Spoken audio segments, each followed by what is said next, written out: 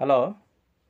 Hello friends, ಏನಿದು ತೆಂಗಿನಕಾಯಿ ಅಂತ ಅಂದ್ಕೋಬೇಡಿ ಇದು ಇದು ನಮ್ಮ ತುಮಕೂರು ಜಿಲ್ಲೆಯ ಪ್ರಸಿದ್ಧವಾದ ಬೆಳೆ. ಕಲ್ಪತರು ನಾಡೆ ಎಂದೇ ಪ್ರಸಿದ್ಧವಾಗಿದೆ. ಇದರ ಬಗ್ಗೆ ಹೇಳುವುದೇನೆಂದರೆ, ಹೊಸದಾಗಿ ಭೂಮಿ ಕೊಂಡು ಕೃಷಿ ಮಾಡುವವರಿಗೆ ತಿಳಿಸಪಡುವುದೇನೆಂದರೆ, ತೆಂಗಿನ ತೋಟದ ಕೃಷಿ ಮಾಡುವವರು ಇದರ ಬಗ್ಗೆ ಸಂಪೂರ್ಣವಾಗಿ ತಿಳಿದುಕೊಳ್ಳತಕ್ಕದ್ದು. ಏಕೆಂದರೆ ಈಗ ಈ ನವಂಬರ್ ಮತ್ತು ಡಿಸೆಂಬರ್ ತಿಂಗಳಿನಲ್ಲಿ ತೆಂಗಿನಕಾಯಿ, ಮೊಳಕೆ ಮತ್ತು ಅದರ ಬ, ಅದರಿಂದ ಸಸಿ ನಾಟಿ ಮಾಡುವ ಬಗ್ಗೆ ತಿಳಿಯಬೇಕು. ಈ ತೆಂಗಿನಕಾಯಿ ಸಂಪೂರ್ಣವಾಗಿ ಗಮನಿಸಿ. ತೂಕದಲ್ಲಿ ಸಣ್ಣ ಇದ್ದು ದಪ್ಪ ಗಾತ್ರದ ತೆಂಗಿನಕಾಯಿಯನ್ನು ಮೊಳಕೆಗೆ ಇಡಬೇಡಿ.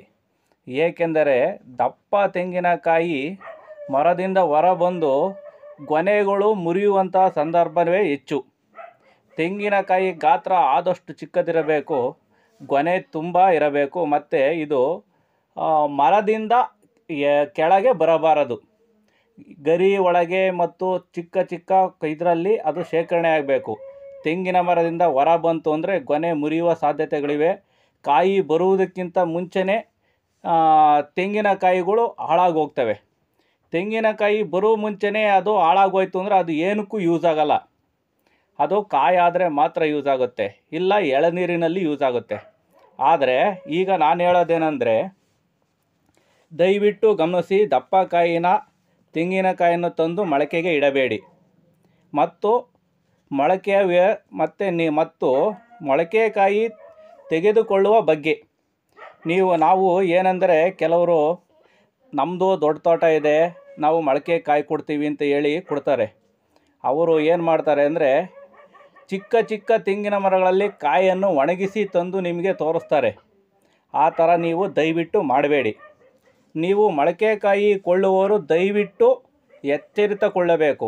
ಏಕೆಂದರೆ, ನಾವು ಒಂದು ಹಸು ತರುವ ಬೇಕು ಅಂದರೆ ನಾವು ನಾಲ್ಕಾರು ಊರುಗಳನ್ನು ಹುಡುಕಿ ತರ್ತೀವಿ. ಆದರೆ ಲೈಫ್ ಲಾಂಗ್ ಸೆಕ್ಯೂರಿಟಿ ಕೊಡುವಂಥ ತೆಂಗಿನ ಮರನ ನಾವು ಅಸಡ್ಡೆ ಮಾಡಬೇಡಿ. ಸ್ವತಃ ನೀವೇ ಹೋಗಿ ತೋಟವನ್ನು ಗಮನಿಸಿ, ಆ ಮರದ ಕಾಯಿನ ಗುಣಮಟ್ಟ ಪರೀಕ್ಷಿಸಿ, ಮತ್ತೆ ಅದರ ಏಜ್ ಏಜು ಅಂದರೆ ಅದು ಸುಮಾರು ಎಷ್ಟು ವರ್ಷ ಇರಬೇಕು ಅನ್ನೋದನ್ನು ಖಂಡಿತವಾಗಿ ಗಮನಿಸಿ.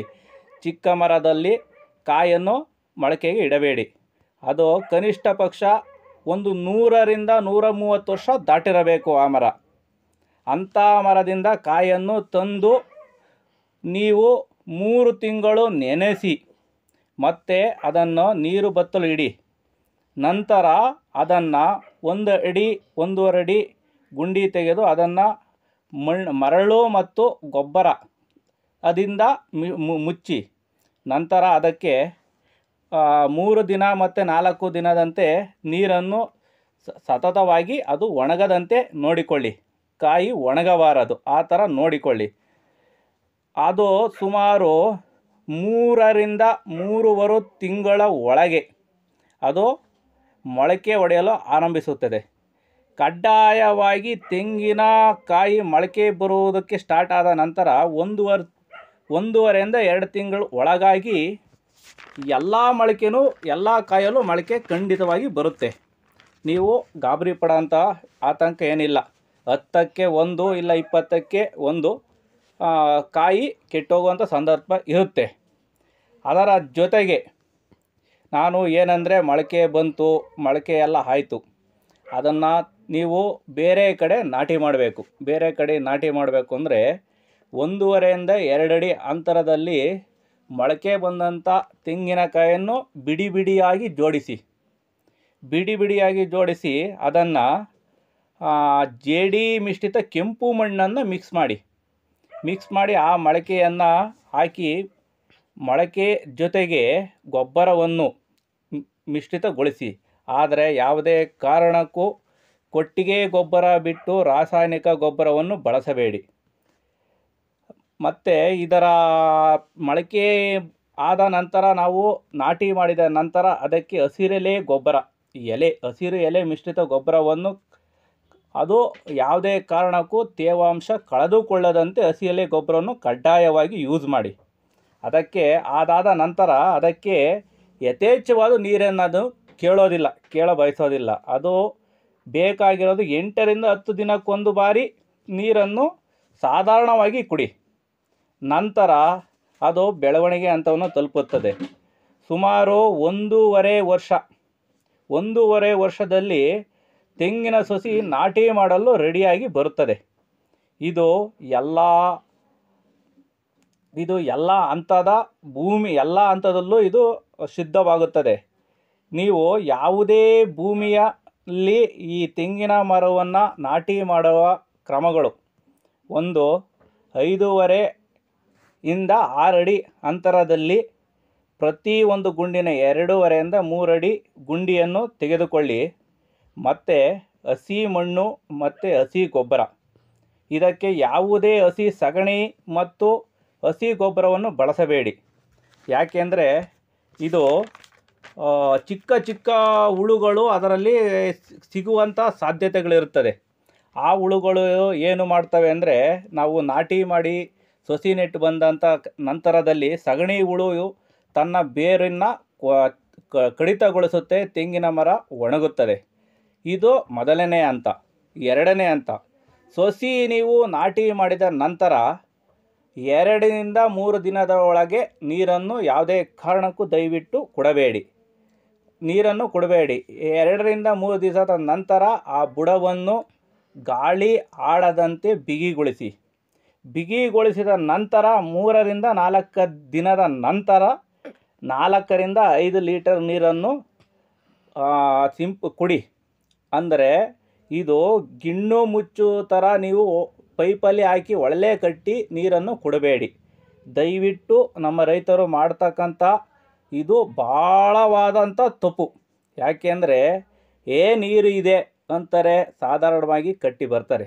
ಅದು ಏನಾಗುತ್ತೆ ಅಂದರೆ ನೀರು ಜಾಸ್ತಿ ಆದಾಗ ನಾವು ನೆಟ್ಟಂಥ ಸಸಿ ಸುಡಿಲಗೊಳ್ಳುತ್ತೆ. ಅದು ಯಾವುದೇ ಕಾರಣಕ್ಕೂ ಬಿಗಿ ಬರೋದಿಲ್ಲ. ಅದಕ್ಕೆ ನಾವು ಕೈಯಲ್ಲೇ ನೀರನ್ನು ಮೂರರಿಂದ ನಾಲ್ಕು ತಿಂಗಳವರೆಗೂ ಕೈಯಲ್ಲೇ ನೀರನ್ನು ನಾವು ಸಿಂಪಡಣೆ ಹಾಕಬೇಕು. ಬುಡದಲ್ಲಿ ಹಾಕಬೇಕು. ಯಾವುದೇ ಕಾರಣಕ್ಕೂ ನಮ್ಮದು ನೀರಿದೆ, ಜಾಸ್ತಿ ಇದೆ, ನಾವು ಜಾಸ್ತಿ ಕಟ್ಟಬೇಕು ಅನ್ನೋ ಅವಶ್ಯಕತೆ ಇಲ್ಲ. ನಂತರ ಅದು ಮೂರರಿಂದ ನಾಲ್ಕು ತಿಂಗಳ ನಂತರ ಹೊಸ ಗರಿ ಬರಲು ಆರಂಭವಾಗುತ್ತದೆ. ಹೊಸ ಗರಿ ಆರಂಭವಾಗಲು ಬರುತ್ತದೆ. ಅದಾದ ನಂತರ ಒಂದು ಒಂದು ವರ್ಷದ ನಂತರ ಅದಕ್ಕೆ ನೀರು, ನೀರಿನ ಅವಶ್ಯಕತೆ ಒಂದು ಸ್ವಲ್ಪ ಜಾಸ್ತಿ ಕೇಳುತ್ತೆ. ಯಾಕೆಂದರೆ ಅದು ಬೆಳವಣಿಗೆ ಅಂತ ಬಿಟ್ಟು ಬ್ರೋ, ಇದಕ್ಕೆ ಬ್ರೋ, ಬರುತ್ತೆ. ಆವಾಗ ಅದಕ್ಕೆ ಒಂದು ದಿನಕ್ಕೆ ಇಪ್ಪತ್ತರಿಂದ ಮೂವತ್ತು ಲೀಟ್ರ್ ಕಂಪಲ್ಸರಿ ಬೇಕಾಗುತ್ತೆ. ಈ ಎಲ್ಲ ಸಿದ್ಧತೆಗಳನ್ನು ನೀವು ನೋಡಿಕೊಳ್ಳಿ.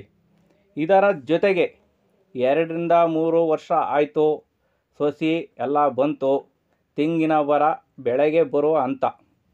ಅದು ತೆಂಗಿನ ಮರ ಬೆಳವಣಿಗೆ ಬರುವ ಹಂತ ಅಂದರೆ ನಾಲ್ಕೂವರೆ ವರ್ಷದಿಂದ ಐದು ವರ್ಷ. ಅದು ಹೇಗೆ ಅಂದರೆ ನಾವು ಒಳ್ಳೆಯ ಬೀಜದ ಒಳ್ಳೆಯ ಗುಣಮಟ್ಟದ ಬೀಜ ತಂದು ನಾಟಿ ಮಾಡಿ ನಾವು ತೆಂಗಿನ ಮರವನ್ನು ಚೆನ್ನಾಗಿ ಸಾಕಿದ್ದೀವಿ ನಾವು ಬೆಳೆಸಿದ್ದೀವಿ ಅಂದರೆ ನಾಲ್ಕರಿಂದ ಐದು ವರ್ಷದೊಳಗೆ ಒಂಬಾಳೆ ಅಂದರೆ ಹೊಸ ಎಳ್ಳೀರು ಬೀಳಲಿಕ್ಕೆ ಆರಂಭವಾಗುತ್ತದೆ. ಇಲ್ಲ, ನಾವು ಕಳಪೆ ಬೀಜ, ನಾವು ಯಾರ್ದೋ ಮಾತು ಕೇಳಿ, ಯಾರ್ದೋ ಸಲಹೆ ಕೇಳಿ ನಾವು ಏನೋ ಮಾಡಿದ್ದೀವಿ ಅಂದರೆ ಇದು ಯಾವುದ ಕಾರಣಕ್ಕೂ ಆ ಬೆಳೆ ನಿಮಗೆ ಒಳ್ಳೆಯ ಬೆಳೆ ಆಗೋದಿಲ್ಲ. ಇದನ್ನು ದಯವಿಟ್ಟು ಗಮನಿಸಿ. ಕೆಲವ್ರು ಹೇಳ್ತಾರೆ, ತೆಂಗಿನ ಸಸಿಗಳು, ತೆಂಗಿನ ಮರಕ್ಕೆ ರಾಸಾಯನಿಕ ಹಾಕಿ, ಕೆಮಿಕಲ್ ಹಾಕಿ ಇಳುವರಿ ಬರುತ್ತೆ. ಅದು ಬರುತ್ತೆ, ನಿಮಗೆ ಅತಿ ಹೆಚ್ಚಿನ ಆದಾಯ ಬರುತ್ತೆ ಅಂತ ಹೇಳ್ತಾರೆ ವಾಟ್ಸಪ್ಪಲ್ಲಿ ತೋರಿಸ್ತಾರೆ ಫೋಟೋ ಹಾಕ್ತಾರೆ. ಈಗ ಏಜೆನ್ಸಿಗಳವರು ಮನೆ ಮನೆ ಹತ್ರ ಬಂದು ನಮ್ಮನ್ನು ಇದು ಮಾಡಿ ಅಂತಾರೆ. ದಯವಿಟ್ಟು ಇದರ ಬಗ್ಗೆ ಗಮನ ಕೊಡಬೇಡಿ. ನೀವು ತೆಂಗಿನ ಮರನ ನಾವು ಭಾಳ ಚೆನ್ನಾಗಿ ನೋಡಿಕೊಂಡಿದ್ದೆ ಆದರೆ ನೀವು ಯಾವುದೇ ಕಾರಣಕ್ಕೂ ಎರಡರಿಂದ ಮೂರು ವರ್ಷದ ಒಳಗಿನ ತೆಂಗಿನ ಮರಕ್ಕೆ ಯಾವುದೇ ಕಾರಣಕ್ಕೂ ಸಗಣಿ ಅಂತ ಗೊಬ್ಬರಗಳನ್ನು ಹಾಕಬೇಡಿ. ದಯವಿಟ್ಟು ರೈತರಲ್ಲಿ ಇದೊಂದು ಮನವಿ. ಇದು ಹಾಕಿದ್ದೇ ಆದರೆ ಸಗಣಿ ಹುಳು ಕಾಂಡವನ್ನು ತಿಂದು ಬೇರನ್ನು ತಿಂದು ಅದರ ಜೊತೆಗೆ ಸುಳಿಯನ್ನು ತಿನ್ನುತ್ತೆ. ಅದಕ್ಕೆ ಯಾವುದೇ ಕಾರಣಕ್ಕೂ ಹಸಿ ಸಗಣಿಯನ್ನು ಸಸಿಗೆ ನಾಟಿ ಮಾಡಬೇಡಿ. ಇದರ ಇದರ ಬದಲಾಗಿ ನೀವು ಹಸಿರೆಲೆ ಗೊಬ್ಬರವನ್ನು ಎಲ್ಲ ಮರದ ಬುಡದಲ್ಲೂ ಸಮವಾಗಿ ಎರಡರಿಂದ ಮೂರು ವರ್ಷ ಕಂಪಲ್ಸರಿಯಾಗಿ ಹಸಿರೆಲೆ ಗೊಬ್ಬರವನ್ನು ನೀವು ಹಾಕಿ, ಯಾಕೆ ಅಂದರೆ ಹಸಿರೆಲೆ ಗೊಬ್ಬರವನ್ನು ಹಾಕಿ ಮತ್ತೆ ಏನೂ ಆಗ್ತಲೇ ಇರೋ ಭೂಮಿನೂ ನೀವು ಗಮನಿಸಿ. ಹಸಿರೆಲೆ ಹಾಕಿದಂಥ ಗೊಬ್ಬರದ ಕೆಳಗೆ ನೀವು ಭೂಮಿನ ಬೆರಳಲ್ಲೇ ಅಗಿ, ಗೆ- ಅಗಿಬೋದು. ಅದೇ ನೀವು ಸಾಧಾರಣವಾಗಿ ನೀರು ಕಟ್ಟಿ ಬಿಡಿ ಭೂಮಿನ. ಅದು ಹೊರಟು ಬರುತ್ತೆ. ಬೇರು ಅಷ್ಟು ಬೇಗ ಎಲ್ಲ ಕಡೆನೂ ಹರಡುವುದಿಲ್ಲ. ಹಸಿರೆಲೆ ಗೊಬ್ಬರದಿಂದಲೇ ಇದೆಲ್ಲ ಸಾಧ್ಯತೆ. ಇದನ್ನು ದಯವಿಟ್ಟು ಗಮನಿಸಿ. ಇದರ ಹೆಚ್ಚಿನ ವಿವರಗಳು ನಮ್ಮ ಎಲ್ಲ ಎಲ್ಲ ನಮ್ಮ ತುಮಕೂರಿನ ಜನತೆಗಳಿಗೂ ಗೊತ್ತಿರುತ್ತೆ.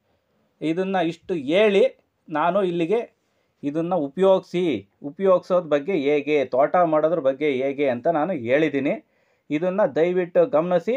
ಇದರಂತೆ ನೀವು ಹೊಸ ಭೂಮಿ ಕೊಂಡು ಮಾಡುವಂಥ ಆ ಇರುವಂಥ ಆಸಕ್ತಿ ಇರುವಂಥ ರೈತರು ದಯವಿಟ್ಟು ಈ ವಿಷಯವನ್ನು ಗಮನಿಸಿ, ಎಲ್ಲ ಮುನ್ನೆಚ್ಚರಿಕೆ ಕ್ರಮಗಳನ್ನು ಅಳವಡಿಸಿ.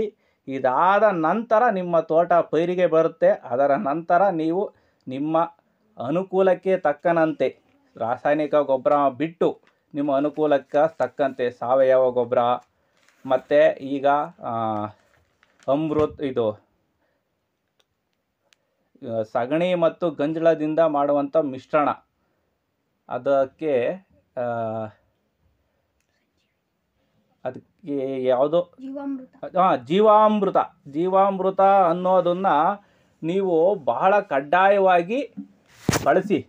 ಜೀವಾಮೃತದಿಂದ ಬೆಳವಣಿಗೆ, ಮರದ ಬೆಳವಣಿಗೆ ಬರುತ್ತೆ ಮತ್ತು ಗುಣ ಇನ್ನೂ ಇರುತ್ತೆ. ಭೂಮಿ ಯಾವುದೇ ಕೆಮಿಕಲ್ ರಹಿತವಾಗಿ ಇರುತ್ತೆ. ಜೀವಾಮೃತ ಮತ್ತು ಈ ಹಸಿ ಎರೆಲೆ ಗೊಬ್ಬರದಿಂದ ಭೂಮಿ ಹೊರಟು ಬರಲ್ಲ, ಬೆಳೆ ಚೆನ್ನಾಗಿರುತ್ತೆ, ಅಧಿಕ ಇಳುವರಿ ಬರುತ್ತೆ.